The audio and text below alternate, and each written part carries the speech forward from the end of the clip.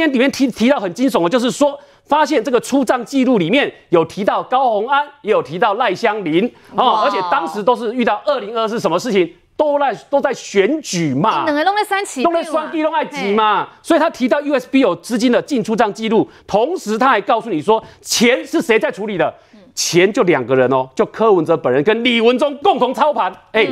共同操盘，然后同时注意哦，他还注意一件讲一件事哦，把民众党的公款通私库，公库通私库，也就是把民众党的账户的钱，然后变成是私人的钱，哇，那我想说这这一件事情，难怪这里会讲说，他还涉及到背信的问题嘛，因为你看到李文忠不是只有牵扯到这个收贿的问题，还牵扯到背信，所以里面够不够惊悚？很惊悚哦。然后周刊呢，除了我们刚刚讲那两点之外，第三个他提到。也是很惊悚的事情，是你要想说这件事情一定是有人去爆料，什么意思呢？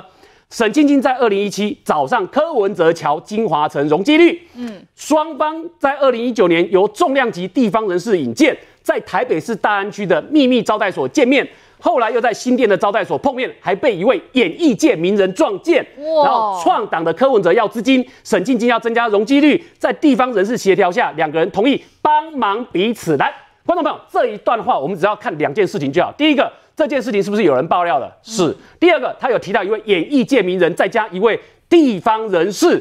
那这两个人对周刊来讲，我一定知道这两个人的名字，我才敢做这篇报道嘛。阿伯一波说要给下一股啊。所以你这样就了解为什么今天只能回科幻小说。嗯。因为今天你来，如果要出来讲说没有这件事。周刊就会把名字给讲出来嘛，对，讲出来之后就变挤牙膏似的打脸了嘛。周刊可能会在呛吴一轩，那表示你不是这个所谓的核心，你不是核心人士 啊。吴一轩今天自己也承认他不是核心人士嘛，他他说他不再回应嘛。但周刊会有这种爆料内容出来，我只叫大家看这个关键点，是这个关键。周刊一定是知道这个人，但是不把他讲出来。他要看民众党怎么回，黄国昌怎么回，就你们只要回这件事情绝无此事，他就会丢出来打脸。所以呢。